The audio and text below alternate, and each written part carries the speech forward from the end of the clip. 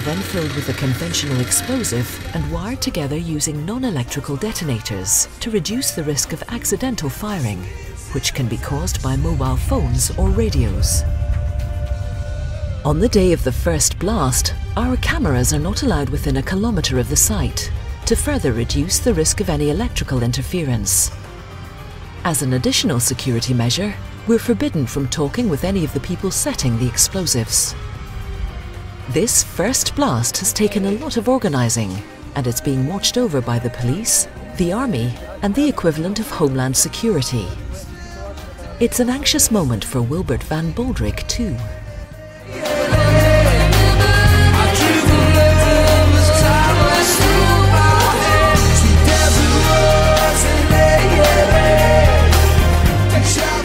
Keys to a career Carrera GT. Uh, this is a real treat, beautiful car, uh, extremely rare.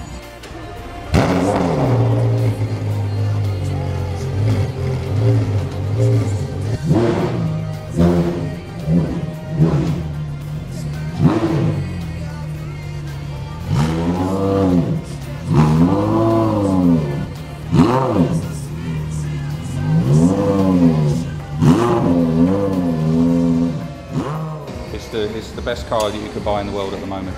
It really is amazing. Uh, Lewis Hamilton's dad wrote one off, didn't he? Well done.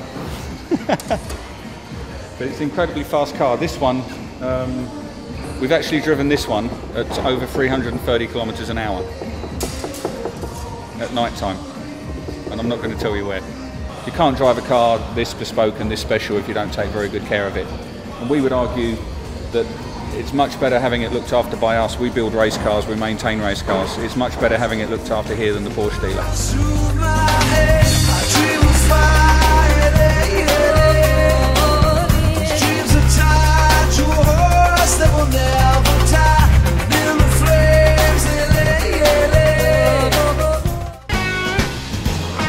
We're not gonna need this anymore.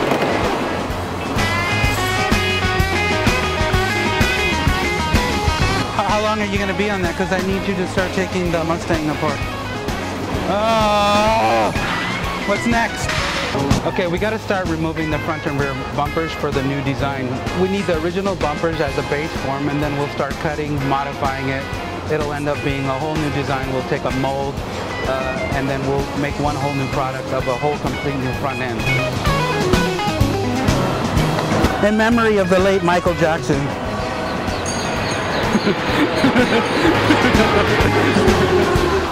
On this McLaren, the audio system wasn't uh, up to par, so with the help of Nelson and Greg, they're gonna kick it up a notch. Uh, Nelson's putting in uh, navigation, TV, backup camera, so uh, not only the guy will roll with style, he'll listen with more style. uh, I really like the doors. It has a very unique uh, door mechanism on it that makes it completely different than most of the other cars. I think that's why it has that big, uh, you know, two million plus uh, price tag on it. One million is for the doors. The rest is for uh, the motor.